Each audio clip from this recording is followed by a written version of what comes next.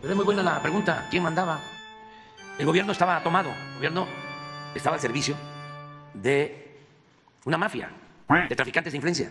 Y había un contubernio entre empresas y autoridades. Lo mismo que sucedía en el caso de la delincuencia organizada. Sucedía entre la autoridad y la delincuencia de cuello blanco.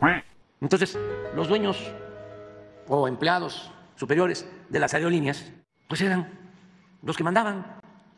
Esto en el aeropuerto, pero también ayer que estuvimos conmemorando el Día del Trabajo, se podía eh, plantear la misma pregunta. ¿Quiénes mandaban en la Secretaría del Trabajo? Pues los potentados, los de las influencias.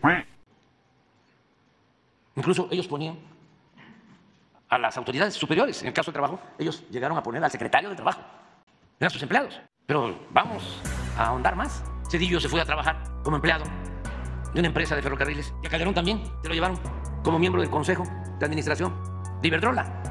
Y se llegó al extremo de que llegaron a mandar los narcotraficantes. Los narcotraficantes en el aeropuerto de la Ciudad de México.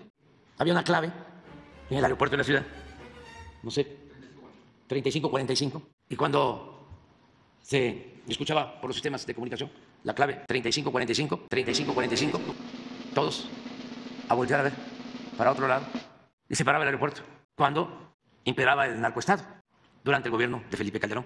Yo quiero agradecerle a la Secretaría de Marina. ¿Por qué tomamos la decisión de que la Secretaría de Marina y la Secretaría de Defensa se hicieran cargo de aeropuertos y en el caso de la Secretaría de Marina, de los puertos? A eso es a lo que llaman militarización nuestros adversarios. Yo quiero agradecerle mucho a las Fuerzas Armadas, tanto a la Secretaría de Marina como a la Secretaría de la Defensa, porque sin ellos no hubiésemos podido poner orden.